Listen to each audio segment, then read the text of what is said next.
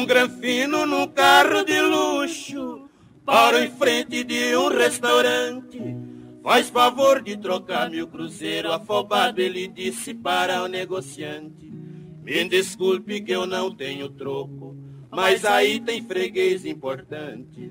O grafino foi de mesa em mesa e por uma delas passou por diante. Por ver um preto que estava almoçando num traje esquisito, num tipo de andante. Sem dizer que o tal meu cruzeiro ali era dinheiro para aqueles viajantes. Ai, ai. Negociante falou pro Granfino, esse preto eu já vi tem trocado. O Granfino sorriu com desprezo, o senhor não tá vendo que é um pobre coitado, com a roupa toda amarrotada e um jeito de muito acanhado. Se esse cara for alguém na vida, então eu serei presidente do estado. Desse mato aí não sai coelho e para o senhor fico muito obrigado. Perguntar se esse preto tem troco é deixar o caboclo muito envergonhado. Ai, ai. Nisso preto que ouviu a conversa, chamou o moço com modo educado. Arrancou da goia com pacote com mais de umas cem flor de abóbora embolado. Uma a uma jogou sobre a mesa me desculpe não lhe ter trocado. O grafino sorriu amarelo, na certa o senhor deve ser deputado. Pela cor vermelha dessas notas parece dinheiro que estava enterrado. Disse o preto, não regalhe o olho, é apenas um rastolho do que eu tenho empatado. Ai, ai. Essas notas vermelhas de terra é de terra pura massapé. Foi aonde eu plantei há sete anos 280 mil pés de cafés. Essa terra que a água não lava, que sustenta o Brasil de pé. Pancetando montado nos cobre, nunca falta amigo e algumas mulheres. É com elas que nós importamos os tais Cadillac, Ford e Chevrolet. Pra depois os mocinhos granfino andar se exibindo que nem coronel. Ai, ai. O granfino pediu mil desculpas, rematou meio desenchavido. Gostaria de arriscar a sorte onde está esse imenso tesouro escondido. Isso é fácil, respondeu o preto. Se na enxada tu for sacudido, terra lá é a peso de ouro e o seu futuro estará garantido. Essa terra é abençoada por Deus, não é propaganda, lá não fui nascido. É no estado do Paraná, aonde que está meu ranchinho querido. Ai, ai.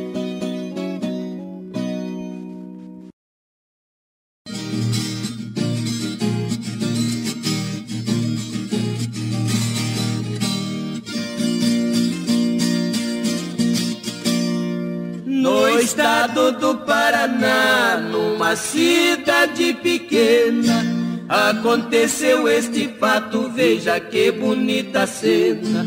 Um casal muito feliz, João Ribeiro e Dona Helena, tinha uma filha tão linda, olhos verdes bem morena. Era a rainha do lar, quem ia lhe visitar se encantava com Iracema.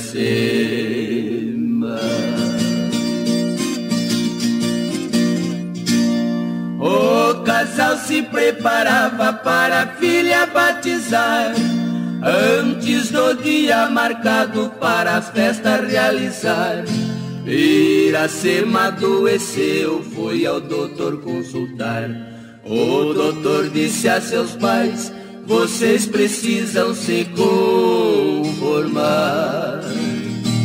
Sei que a notícia é dura, sua filha não tem cura, só Deus quem pode salvar.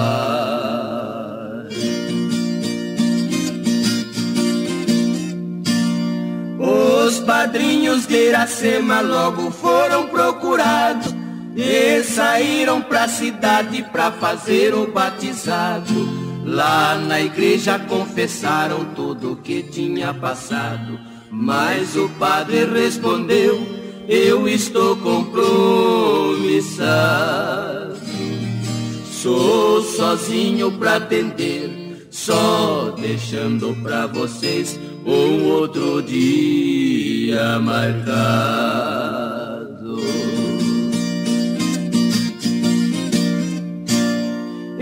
E o padre foi saindo muito triste e comovido, fazendo uma prece a Deus, na hora foi atendido. Apareceu outro padre, porém um desconhecido, foi quem salvou Iracema daquele mal recebido. Um milagre Deus mandou, o padre que batizou há tempos tinha ya murni.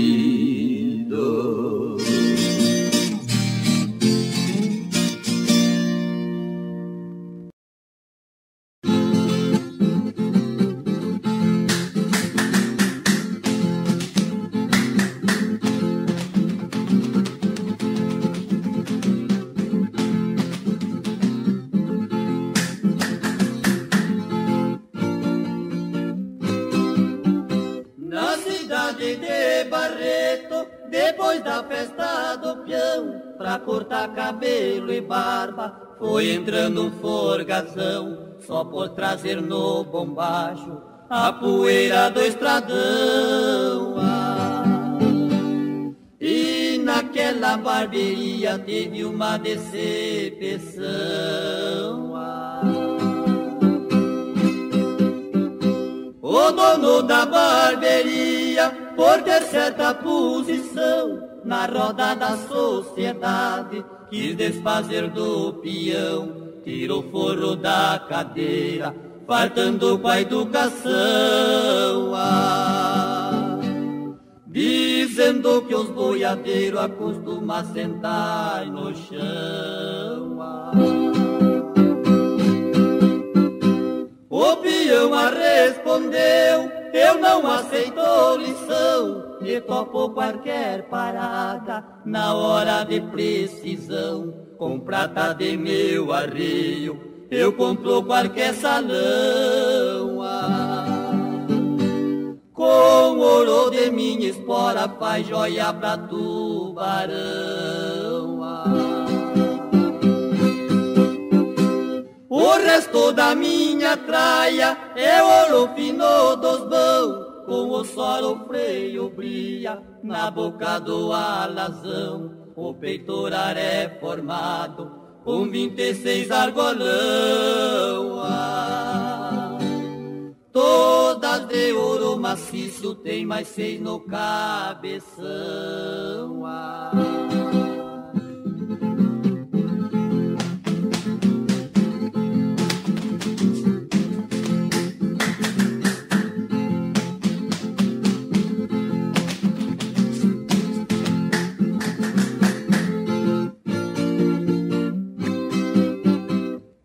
falando pro barbeiro, foi entregando um cartão com a marca peão de ouro, redetor das criação, e puxando da carteira, sem fazer objeção. Ah, forrou a cadeira inteira só com cheque de milhão. Ah,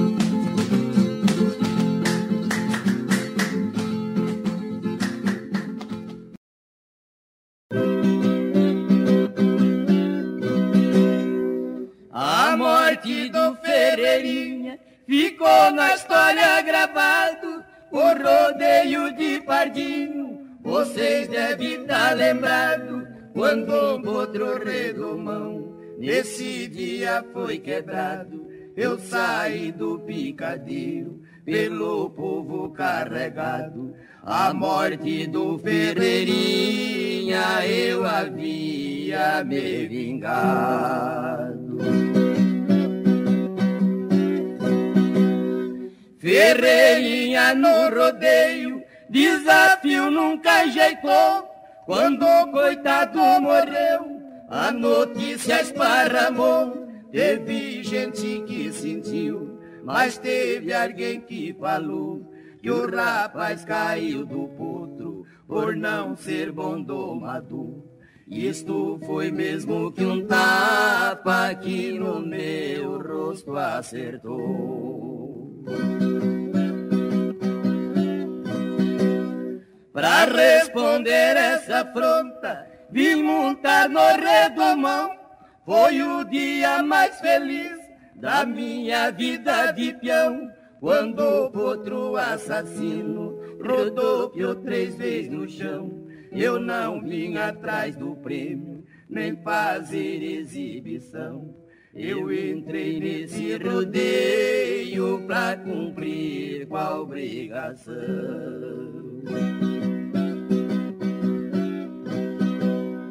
Pelas ruas de Pardinho, muitos foguetes explodiu. Pra festejar as apostas, muita champanha se abriu. Ninguém pode imaginar o que o meu peito sentiu. Pra tirar a barda do potro, montei nele sem lumbio.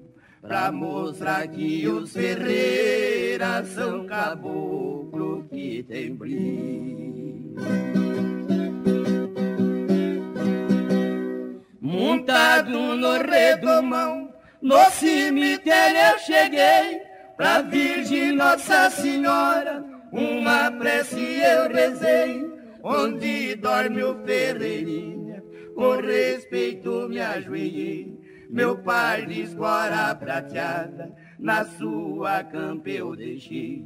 Foi a última homenagem que pro meu irmão prestei.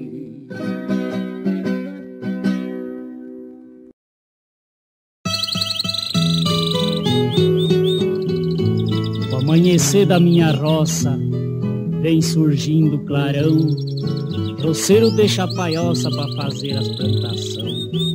O carro de boi chorando no arco do chapadão, os passarinhos cantando, começando um barulhão. Este é o Brasil caboclo, este é o meu sertão.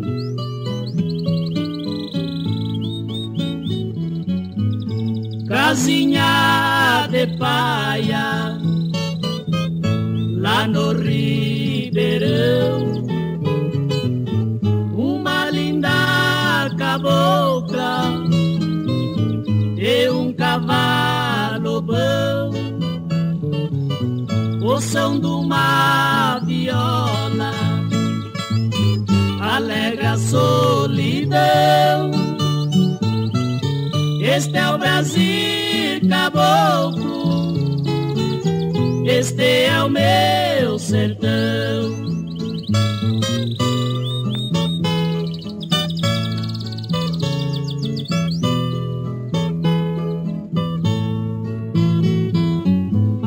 Choro da cascata, cai lá no grotão,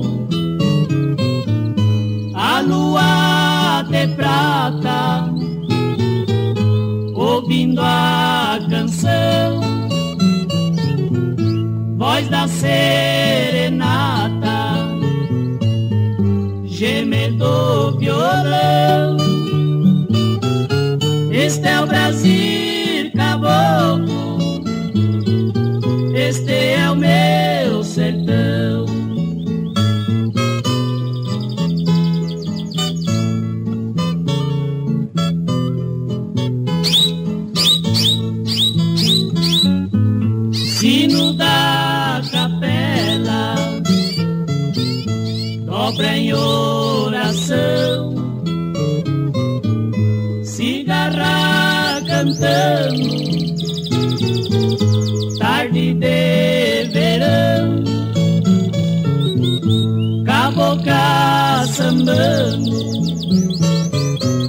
Noite de São João, está o Brasil caboclo, este é o meu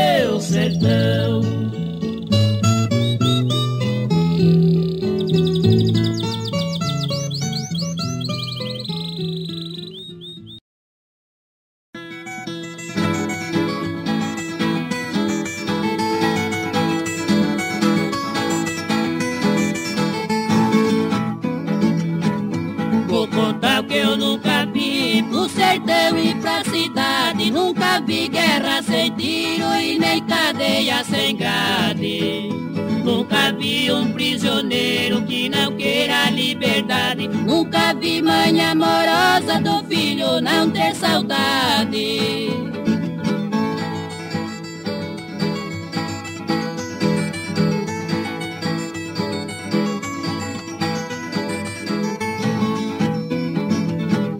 Nunca vi homem pequeno que ele não fosse papudo. Eu nunca vi um doutor fazer Nunca vi um boiadeiro carregar dinheiro miúdo. Nunca vi homem direito vestir calça de viludo.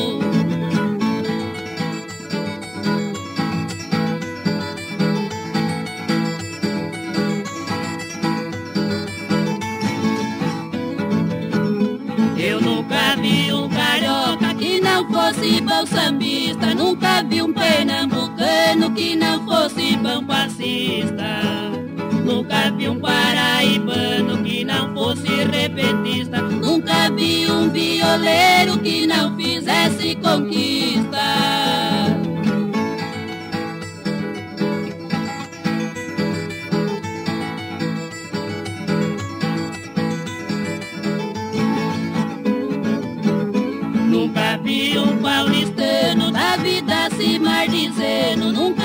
Paranaense que não esteja enriquecendo. Eu nunca vi um baiano no facão sair perdendo. Eu nunca vi um mineiro da luta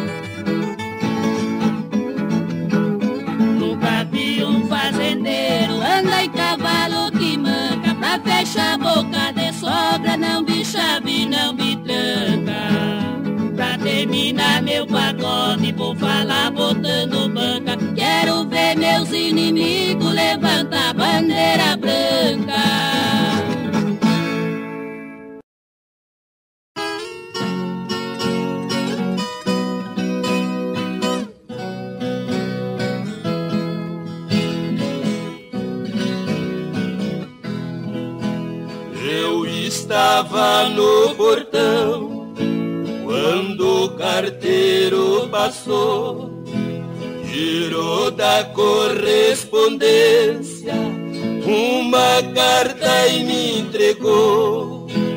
Abri a carta pra ler, os ares diferenciou. Quando li o cabeçalho, os meus olhos se orvalhou, ai, lágrimas no chão pingou.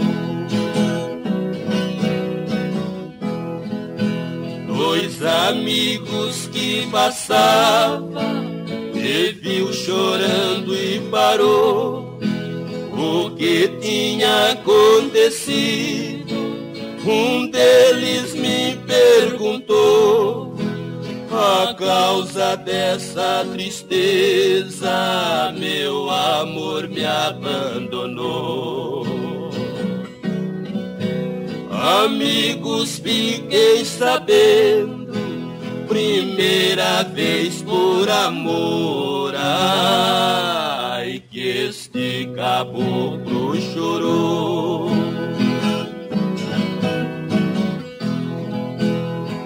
O amor que eu tinha nela em ódio se transformou por ser uma mulher farsa. Não cumpriu o que jurou. Não quero saber onde anda, nem ela onde eu estou vai ser como o sol e a lua, quando um sai outro já entrou. Ai, não quero ter mais amor. As mulheres que eu conheci, só uma que confirmou um amor sincero e puro que nunca me traiçoou. Em minhas horas amargas, o quanto me confortou. Primeiros passos da vida, foi ela quem me ensinou. Ai, minha mãe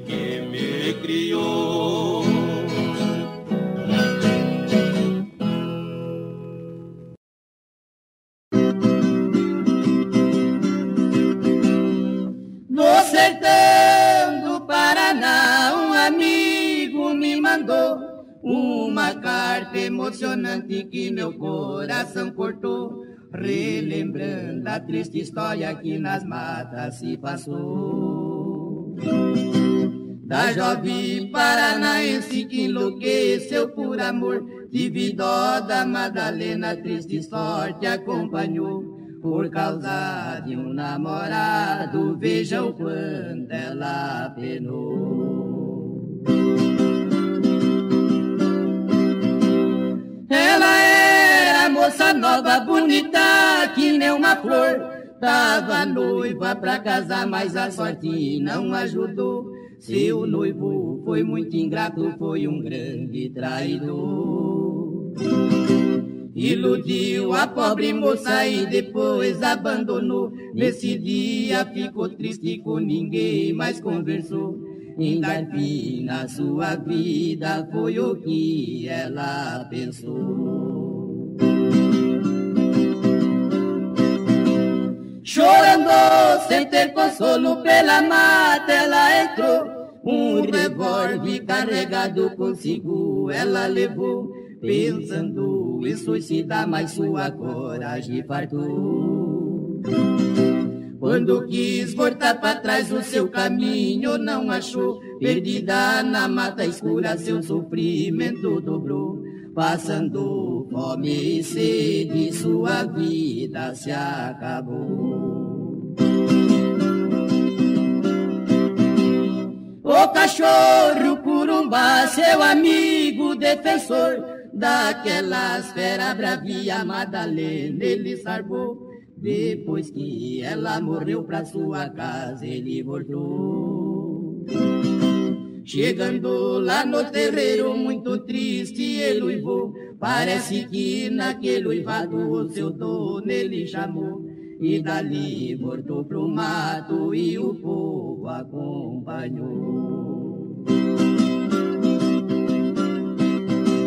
Bem no pé de uma figueira onde o corumba parou, encontraram Madalena onde os índios sepultou. Corumba deu um uivado que o sertão silenciou.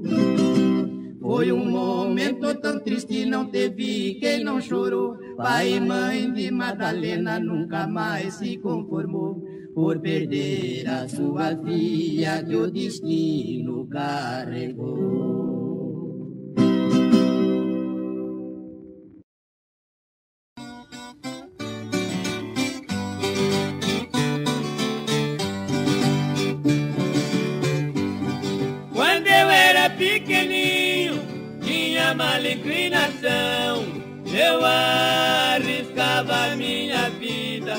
Pra montar em qualquer vagão.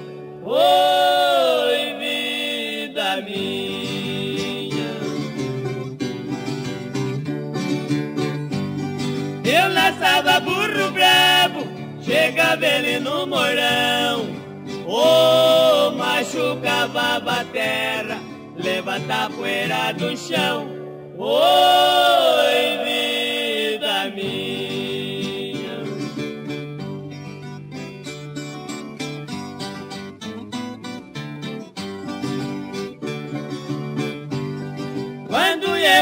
pra dentro, saí com o lumbio na mão. Eu carcei meu pai de fora, com bem dor no coração. Oi, vida minha. O que eu tinha mais vergonha é da filha do patrão.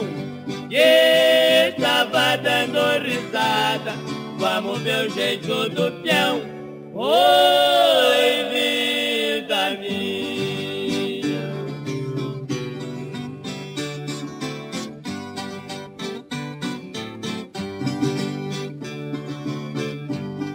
Quando eu montei no macho, no descer de um ladeirão, eu vi a morte pro meus olhos, no descer de um chapadão.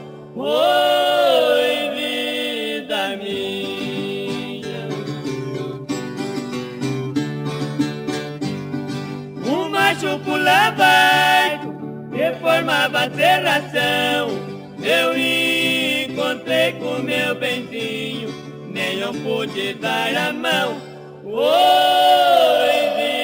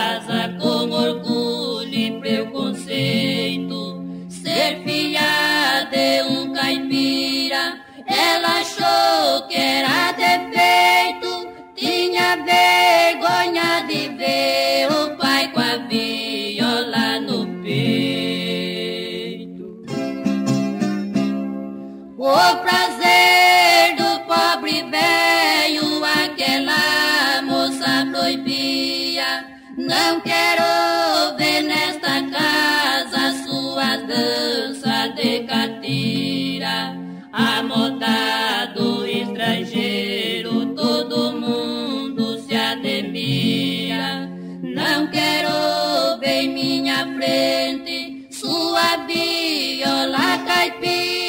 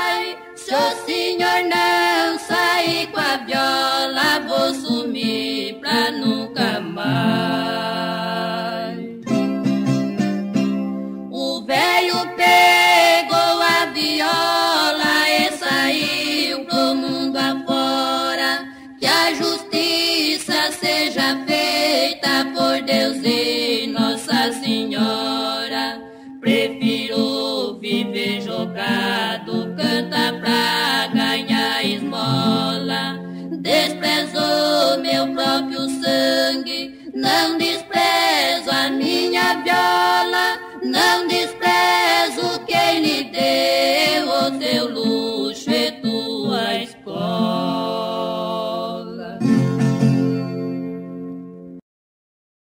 Ah, ah, ah.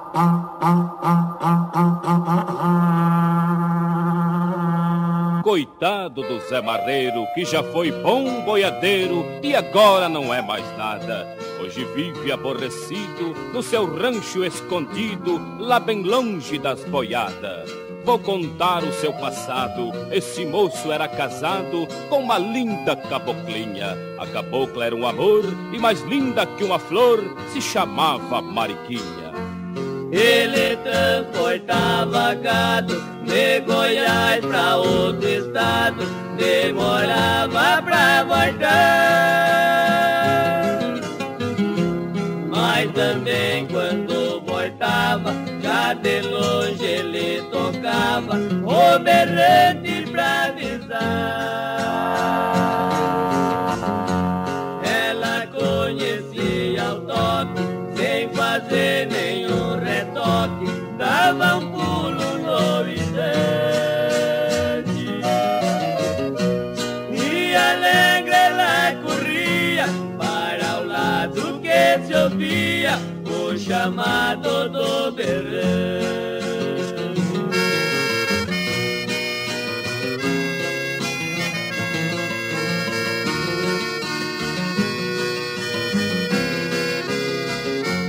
E correndo em desparada pra alcançar ele na estrada em tamanha.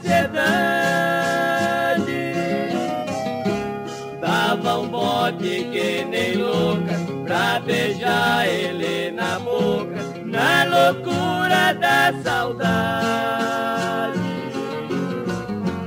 Dia ele chegando e o berrante arrepicando e jamais foi atendido. Apareceu uma vizinha e contou que a Mariquinha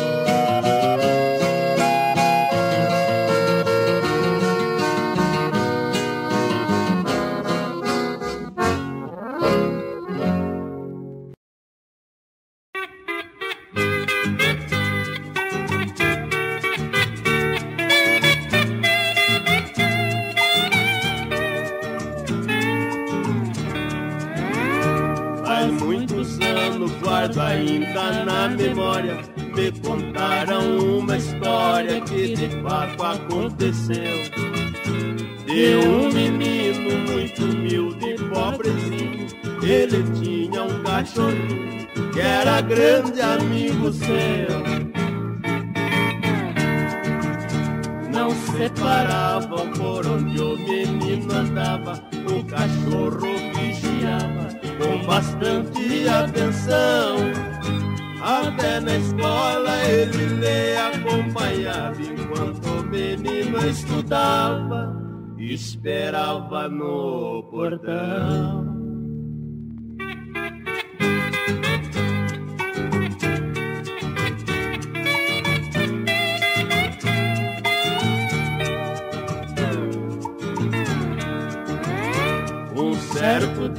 O menino não esperava que a morte lhe rondava, foi cruel a sorte sua. Saiu da escola com o cachorro a seu lado. Ele foi atropelado no atravessar a rua. Ele morreu no mais triste sofrimento. O cãozinho no momento se livrou desse perigo. Uivava triste como querendo dizer que acabava de perder para sempre o seu amigo.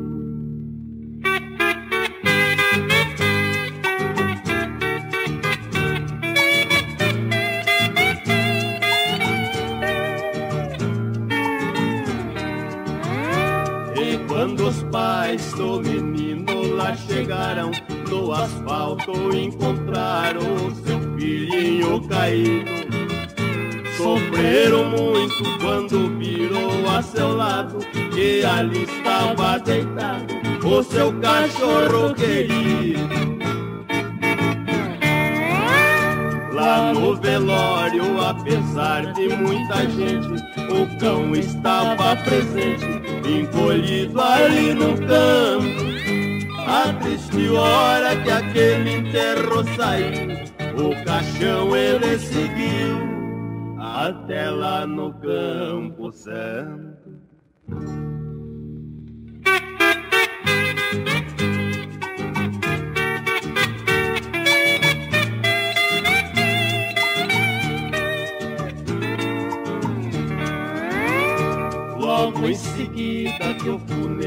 Terminou, o cachorro lá ficou e ali permaneceu.